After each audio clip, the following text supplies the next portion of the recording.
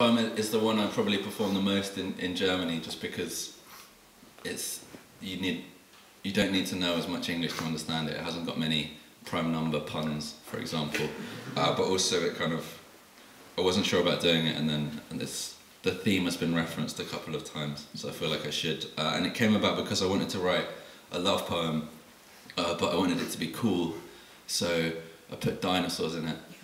Uh, so this this is called Dinosaur Love. I want to say I love you, but it seems it's not enough.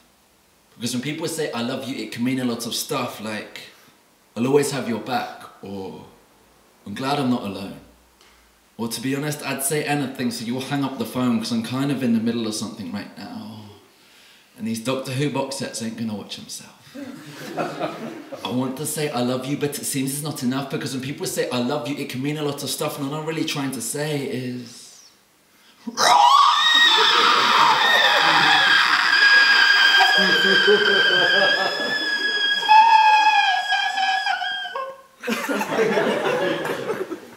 want to love you like a T-Rex.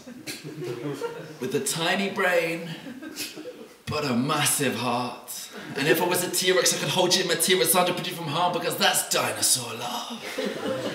it's the way the eastern spines down my spine like a stegosaurus or had just like dinosaurs. No one cares what came before us because they got that love so big it cannot be ignored. Like if you were the dinosaur, everything else seems secondary. Dinosaurs are not mythical creatures, they are legendary plus just really cool.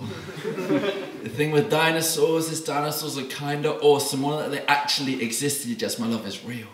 I ain't talking blindly walking strings attached like Theseus. That's Minotaur love.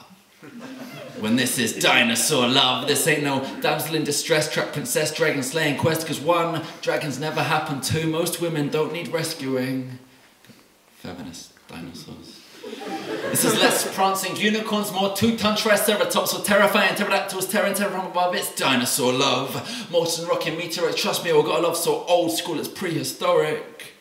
So if you're into Spielberg or hip-hop with a classic vibe, then we could watch Jurassic Park or listen to Jurassic 5. if you like a bone, then I know a place where we could see him. I'm a lifetime member of the Natural History Museum. I want to say I love you but that might be awkward. So instead, I'm happy to that state in my head where it cannot go wrong. And if as time goes on, my dino love dies out as you'd expect when it's extinct, rather that we remained friends and became exes. But if somehow, against the odds, my dino love proves so colossal that it stands the test of time perfectly preserved like a fossil, then one day, when you've been left in ruins and need someone to help excavate through me and take an archaeological expert to point you towards me. And at the point I point out, you're like a brachiosaurus. Because there's no one above you. And I'll be able to look you in the eyes and say,